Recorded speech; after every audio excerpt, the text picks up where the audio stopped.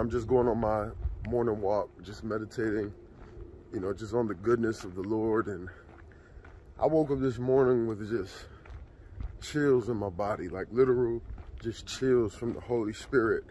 And, and sometimes when you're thinking about, you know, what God is doing and where God has brought you from and, and where we're going, you know, you'll feel the Holy Spirit just just come on you. We're about to see one of the greatest moves of God in the earth that we've ever seen. And there's nothing that the devil can do to stop it. That's why for some of you, the enemy is fighting you so hard, coming against your mind. You know, you came to a point with your walk with God that, you know what, you're not going to go back to your old sins. You're not going to go back to your old ways. And so the only thing the devil can really try to do is wear you down, try to steal your joy, try to steal your peace, try to, you know, destroy your destiny so that you don't rise up and be the son of God, the daughter of God that you're called to be. There's people, you know, that are waiting to hear your testimony.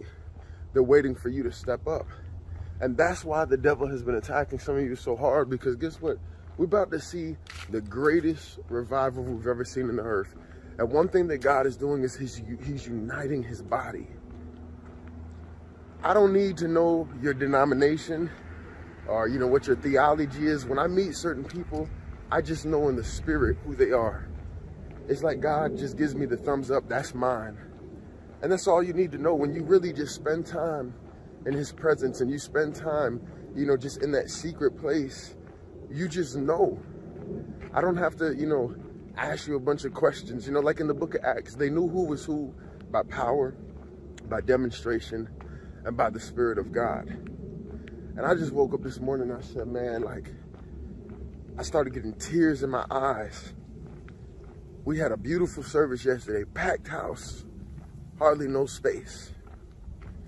And the presence of God there was just so thick, people getting delivered, white people, black people, Hispanic people, rich people, poor people, you know, gangbangers, millionaires, all kinds of people in the same room, worshiping God.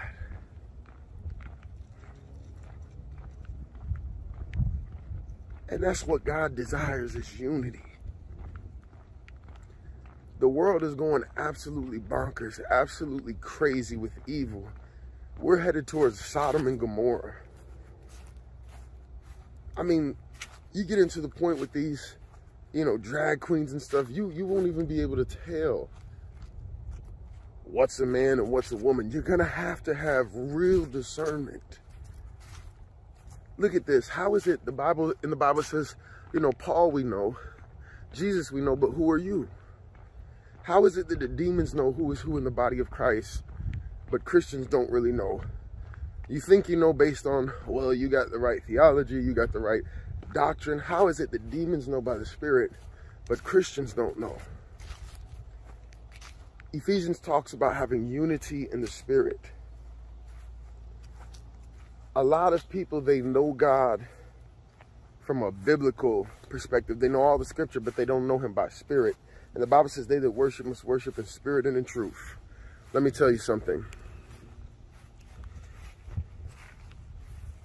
We're about to see some stuff happen within the next two years. We're going to see stadiums just filled. And the power of God is going to hit so strong all the things that we see in the book of Acts, that's where we're going, back to the book of Acts church.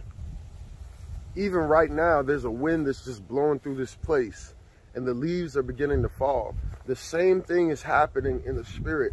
The wind of God is breathing. You know, when, when certain people speak, when certain people preach and teach and sing, you should be able to feel the wind of God back them up.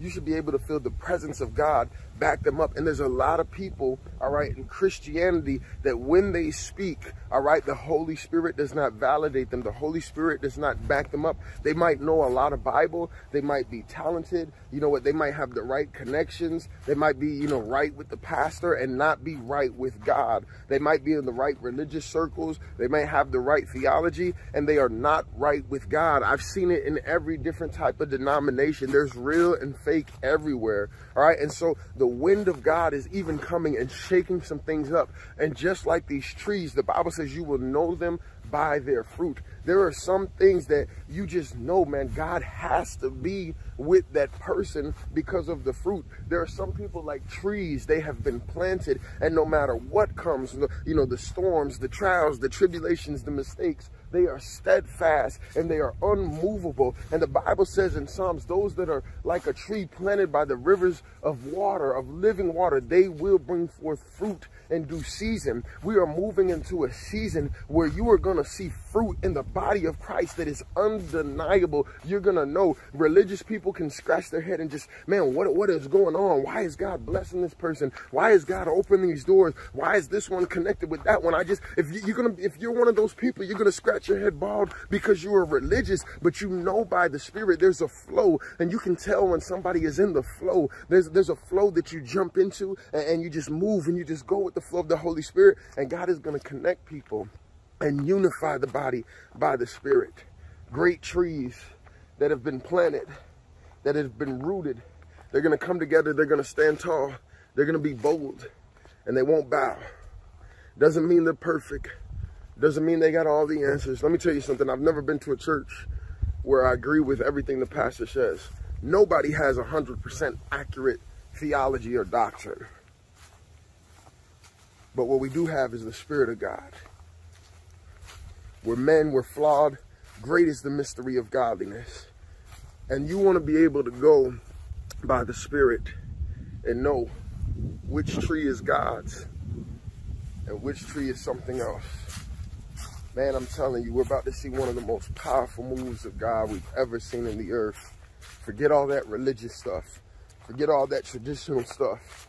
You know, if some, sometimes, you know what, if you can't let go of some of your religion and, and your tradition, then you know what? That's your God. Some people, the religion is their God because it gives them certain, you know, social circles and things like that. And if you can't let it go, if you're bound to it, then you're no different than the Pharisees. That's something to think about right there. You don't want to be a Pharisee in these last days. You want to move like the apostles. Lord, we just thank you right now for what you're about to do on this earth. We give you the praise. We give you the glory. We give you the honor. You're worthy. Thank you for your people. Bless your people. Lead your people. Shape your people. Guide your people. In the name of Jesus. Amen. Love you guys. Be